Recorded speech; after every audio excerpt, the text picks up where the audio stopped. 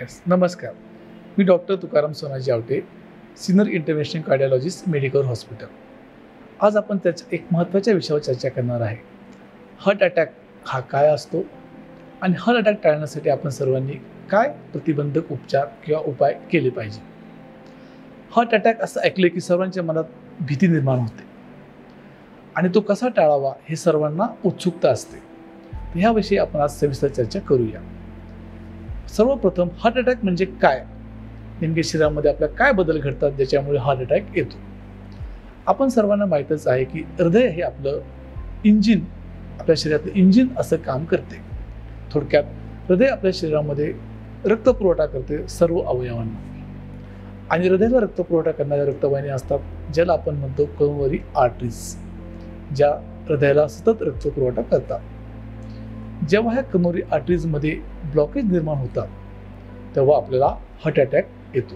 आपल्या हृदयाला मेन तीन कनोरी आर्टरीज असतात लेफ्टला दोन आणि राईटला एक. जेव्हा केव्हा ह्या कनोरी आर्टरीजमध्ये ब्लॉकेज निर्माण होतात तेव्हा आपल्याला हार्ट अटॅक येतो किंवा आपण त्याला इच्छेमिक हार्ट डिसीज असे म्हणतो. हा इच्छेमिक हार्ट डिसीज हा मेनली दोन स्वरूपाचा असतो एक स्टेबल आणि दुसरा असतो सिरियस किंवा ज्याला आपण कॉमन लँग्वेजमध्ये हार्ट अटॅक असे म्हणतो. जेव्हा ह्या रक्तवाहिन्यांमध्ये अचानक रक्ताची गाठ निर्माण होते आणि अचानक तुमच्या रक्तवाहिन्यांमध्ये शंभर टक्के ब्लॉक निर्माण होतो तेव्हा मोठा हार्ट अटॅक येतो. हार्ट अटॅकचे लक्षणं काय असतात? जेव्हा पेशंट अटॅक येतो तेव्हा तेव्हा छातीमध्ये खूप तीव्र वेदना होतात. डाव्या साईडला मुख्यतः वेदना असतात. ह्या वेदना पाठीमध्ये जातात डाव्या खांद्यामध्ये जातात किंवा जबड्यामध्ये जातात. काही रुग्णांना ह्या वेदना उजव्या साईडला सुद्धा होऊ शकतात. बरेचसे रुग्ण ह्या वेदनांना ॲसिडिटी म्हणून निग्लेक्ट करतात आणि घरीच उपचार करतात जे त्यांच्या जीवावर सुद्धा बेतू शकतं. त्याच्यामुळे सर्वांना मी आव्हान करू इच्छितो की जेव्हा तुम्हाला असा काही त्रास वाटेल छातीमध्ये तेव्हा लगेच जवळच्या डॉक्टरांना दाखवून त्याचे निदान करून घेणे आणि त्याचे उपचार करणे खूप महत्त्वाचे आहे. तर हे झाले हार्ट अटॅक आता हा हार्ट अटॅक आपण सर्वांनी कसा टाळावा?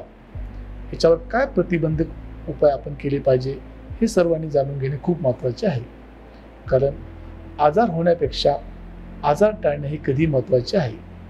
Prevention is always better than cure तो हा हार्ट अटॅक टाळण्यासाठी आपण काय केले पाहिजे? तर सर्वात महत्त्वाचे आहे आपली जीवनशैली. जीवनशैली सर्वात महत्त्वाचा भाग आहे व्यायाम. आपण सर्वांनी रोज पंचेचाळीस ते साठ मिनटं व्यायाम करणे खूप आवश्यक आहे. आता बऱ्याच लोकांचा प्रश्न असतो की व्यायाम कुठला करावा?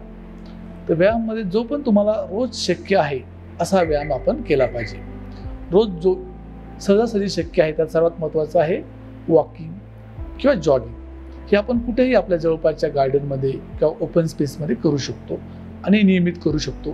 त्याला कुठलाही एक्स्ट्रा खर्च लागत नाही एक्स्ट्रा इक्विपमेंट्स लागत नाहीत. त्याच्यामुळे सगळ्यात सोपा आणि जो नियमित आपण करू शकतो तो व्यायाम म्हणजे वॉकिंग जॉगिंग किंवा रनिंग याच्या व्यतिरिक्त जर आपल्याला पॉसिबल असेल तर आपण स्विमिंग जिम किंवा स्पोर्ट्स बॅडमिंटन टेनिस फुटबॉल असे कुठल्याही स्पोर्ट्सची जर आवड असेल तर तेही आपण करू शकतो.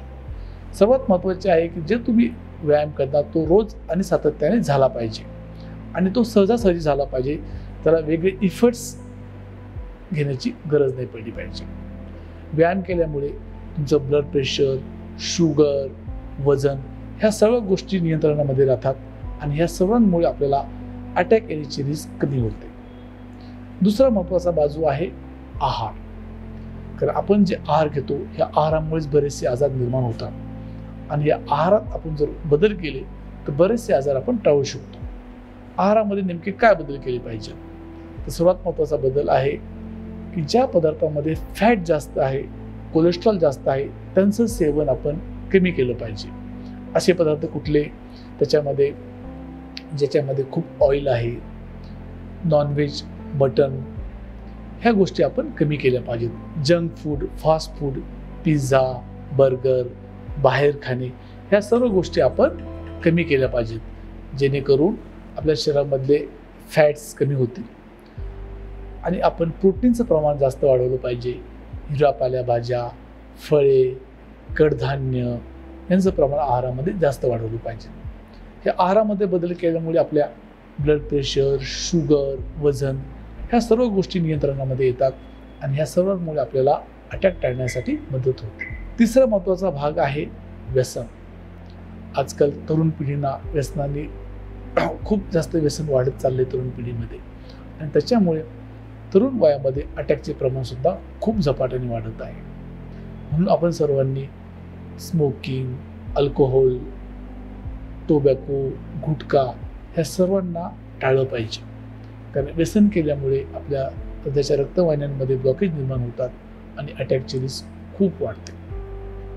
ह्या व्यतिरिक्त बऱ्याच रुग्णांना ब्लड प्रेशर शुगर कोलेस्ट्रॉल याचे आजार असतात. आणि सर्वांना असा गैरसमज असतो की आपण आपल्याला काही त्रास नाही आहे तर आपल्याला ट्रीटमेंट घ्यायची गरज नाही परंतु ज्यांना ब्लड प्रेशर शुगर कोलेस्ट्रॉल हे आजार आहेत आणि काही त्राससुद्धा नाही आहे परंतु भविष्यामध्ये अटॅक पॅरालायसिस किडनीचे आजार टाळण्यासाठी त्यांचं योग्य ट्रीटमेंट घेणे डॉक्टरकडे रेग्युलर फॉलोअप करणे हे खूप महत्त्वाचे आहे. कारण शुगर ब्लड प्रेशर कोलेस्ट्रॉल हे वाढल्यामुळं अटॅकची रिस्क तिप्पट वाढते.